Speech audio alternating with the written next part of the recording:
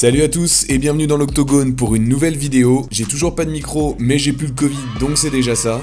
Aujourd'hui, on va s'intéresser à un combattant dont je suis sûr que vous avez déjà entendu parler, Francis Ngannou. Au programme du jour, on va regarder ce que faisait Francis avant d'envoyer des mecs dans une autre dimension, on va parler du record du monde qu'il détient. Tu l'as compris, aujourd'hui on va découvrir 5 choses que tu ignorais sans doute sur Francis Ngannou, c'est parti.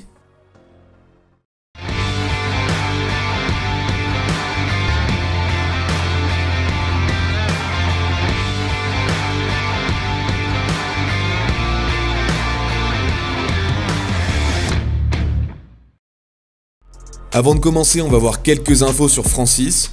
C'est un combattant franco-camerounais de 34 ans, il mesure 1m93 et pèse 117 kg.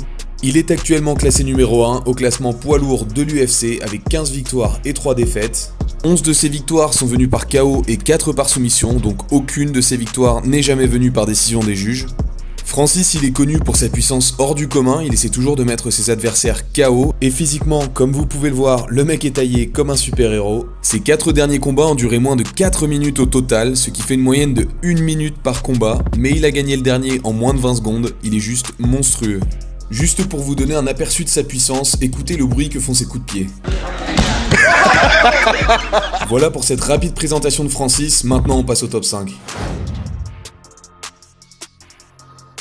En numéro 5, Francis travaillait dans une mine dès l'âge de 12 ans.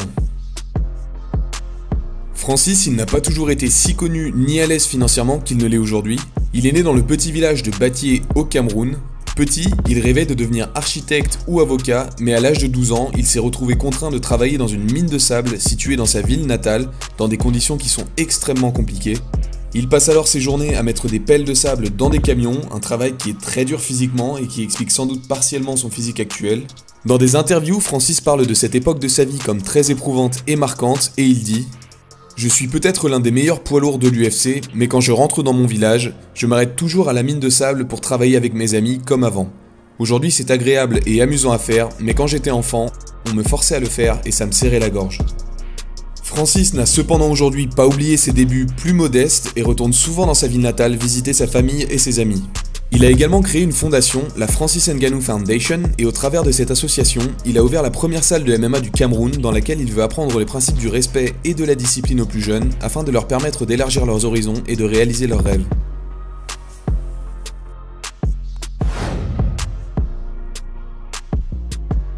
En numéro 4, Francis était sans abri lorsqu'il est arrivé à Paris. Passionné de boxe anglaise et particulièrement de Mike Tyson, le Camerounais veut devenir boxeur lui-même. Avec l'intention d'en faire sa carrière, il émigre en France à l'âge de 26 ans parmi un flot de migrants. Francis ne connaît alors personne et n'a pas d'argent et vit donc comme un sans-abri dans les rues de Paris pendant un temps, avant d'être récupéré par une association humanitaire nommée la Chorba. Il donne alors un coup de main pour la distribution des repas aux plus démunis de Paris. Il fait part de son désir de devenir boxeur au fondateur de l'association, qui le présente alors à Fernand Lopez, entraîneur principal du MMA Factory. Lopez est épaté par le physique et les capacités de Francis et lui propose donc de s'entraîner gratuitement dans son club.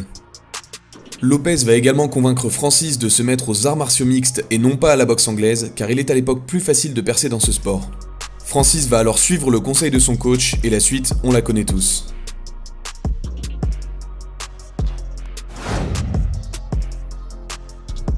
En numéro 3, il a soulevé Shaquille O'Neal, presque sans forcer. Beaucoup d'entre vous connaissent sans doute Shaquille O'Neal, un des basketteurs américains les plus connus au monde. Shaquille, il mesure 2m16 et pèse 150 kg, donc c'est un beau bébé. Les deux s'étaient croisés aux États-Unis et prenaient des photos ensemble, lorsque d'un coup, Francis a décidé de soulever Shaquille, parce qu'après tout, pourquoi pas? Je vous laisse regarder la vidéo, regardez juste la tête de Shaquille lorsqu'il le soulève sans forcer et écoutez son rire un peu paniqué, franchement c'est un moment magique. You ain't got nobody fat. Jeez. I see that. You got nobody fat. That's nice. I see you having good luck in the next Thank fight. you very much. Yeah, that's the first time I've ever been beat up. En numéro 2, Francis va jouer dans le prochain Fast and Furious. La saga Fast and Furious produit depuis 2001 certains des plus gros blockbusters au monde avec des acteurs comme Vin Diesel et Dwayne Johnson. Les films sont souvent centrés sur des bonnes courses de bagnole et des grosses bastons, et on a récemment appris que Francis allait jouer dans le prochain, le numéro 9, qui sortira en 2021. Il a déjà tourné des scènes à Londres, Los Angeles et en Thaïlande, et c'est juste dingue de penser qu'il a commencé dans un petit village du Cameroun à travailler dans des mines de sable pour finir dans l'un des plus gros films au monde, c'est super inspirant comme histoire. Alors je suis en général pas un grand fan de ces films, mais juste pour voir Francis distribuer des parpaings à The Rock, je pense que j'irai voir le prochain. Les deux avaient d'ailleurs échangé quelques mots sur Instagram avant même que Francis ne soit prévu pour le rôle, je vous laisse regarder ça. We should work out together. Francis, Gano. Let me tell you something, brother. You ain't ready for me. You are not ready for me. Et on arrive au numéro 1, Francis a le coup de poing le plus puissant au monde. Je pense que vous avez compris que se faire frapper par Francis, c'est sans doute pas très bon pour la santé, mais si je vous disais que c'est littéralement comme se prendre une voiture.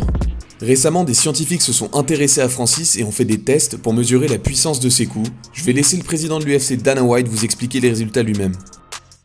And Francis Ngannou has the world record for the most powerful punch. His punch is the equivalent to 96 horsepower, which is equal to getting hit by a Ford Escort going as fast as it can. Um, and it's more powerful than a 12 pound sled, sledgehammer swung full force from overhead. Holy shit. Une putain de Ford Escort, les gars.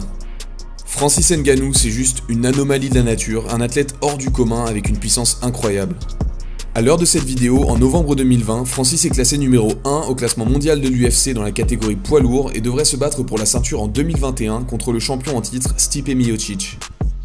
Les deux s'étaient affrontés en 2018 et Stipe s'était servi de sa lutte et de ses takedowns pour l'emporter par décision sur Francis, mais le rematch promet d'être fascinant et c'est un combat à ne surtout pas manquer.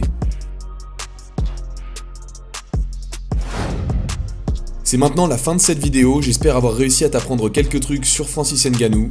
Si c'est le cas, n'hésite pas à liker et à t'abonner, sinon je demande à Terry de te mettre un coup de genou dans la carotide. Et moi je te dis à la prochaine pour une nouvelle vidéo, ciao